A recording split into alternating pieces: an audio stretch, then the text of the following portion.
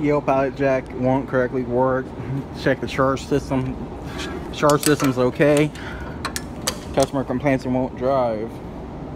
Turn it on. Try to make it move. Wheel barely, barely moves. Try to make it pick up. Contactor just hits. Uh, gotta check the batteries. This is the main contactor. Test light, test battery voltage.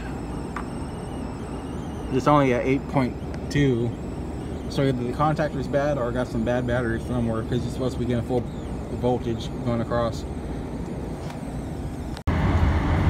Okay, so that pallet jack I just showed y'all, uh, and I after after I ended checking all the connections and looking at bolts, I had the right bolts everywhere I needed. Uh, it was either going to be the main contactor or the batteries, and it's easier, way easier to test the batteries than the contactor. So you gotta disconnect all the batteries and one by one test them because they're only uh, 4 6 volt batteries in series, giving the pallet jack a total of 22 volts, 24.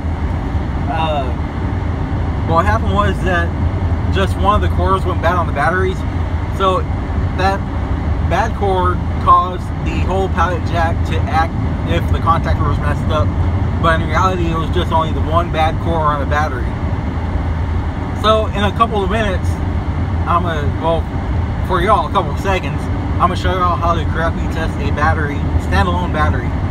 This is not the battery that came, that came off the pallet jack. The customer is gonna replace their, their own battery because it's more cheaper for them than to pay me. But it's just one bad battery that can cause that whole issue with that pallet jack to act like that. Have a good day.